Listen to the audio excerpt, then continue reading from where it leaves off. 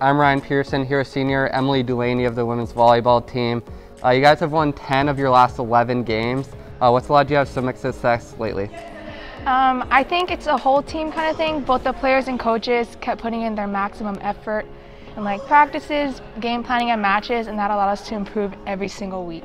And also, I think the girls are just like feeling really fortunate that we get to have a season, and we're making the most of the time left we have to play together, and that's showing on the court.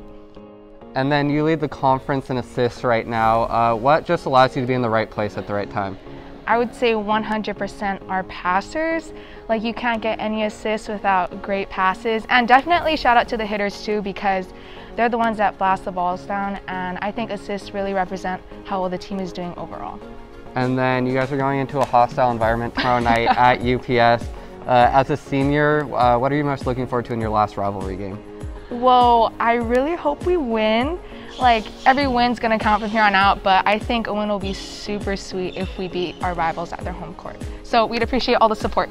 Perfect. Well, good luck tomorrow night and the rest of the season, and go Lutes. Thank you.